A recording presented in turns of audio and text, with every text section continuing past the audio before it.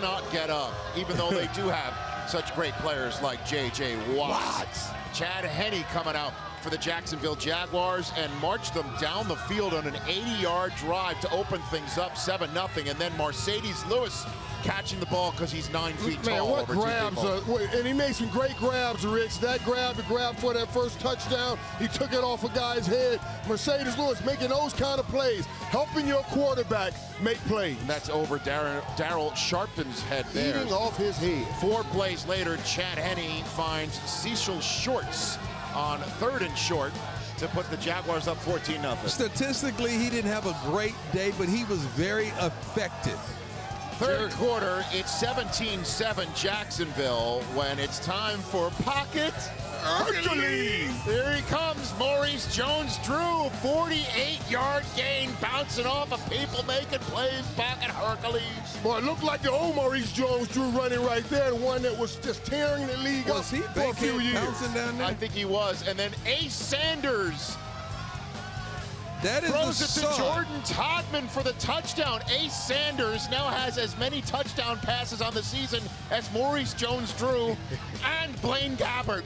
What in the world's going on in Jacksonville? It's 24 to 10. I played with his dad at Florida State. The Texans then turn to Matt Schaub Uh-oh. in the third quarter, and what does he do? Here come that man. He just marches them down the field. They went four wides, five wides. Here comes DeAndre Hopkins is free. See, Well, that's that great wonderful backside throw. hustle on that because you never know what's going to happen. Save the touchdown right there. 46 yard gain, five plays later, just delayed the touchdown. Yep. Here comes Garrett Graham wide open. High low, high low. Schaub's first Great big touchdown pass. It's week number four. Coming off the bench with six to seven.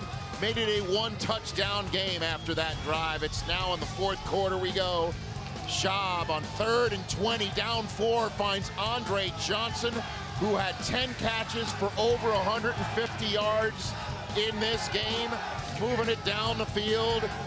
10th career game with 10 catches and 150 yards ties Jerry Rice most all time, but on fourth and two, Matt Schaub cannot get on. and Run, Andre Johnson, run. he had him right there. to anybody. Yeah, Yeah, waited too but long. you know what? The third down, he should have ran the football. For the first down, it was wide open, Deion. You're absolutely right. In that situation, you got to make that run, get that first down, most important. Next Jaguars possession, third and 11. Henne for Mike Brown. Oh boy, that's uh, an incomplete pass, which means Houston out of timeouts gets the ball back.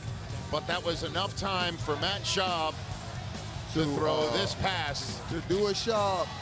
and it's Geno Hayes. Ooh. And, Picks him off. Yeah, and that was the second one now. There was one that almost got to be a pick six that luckily hit the ground.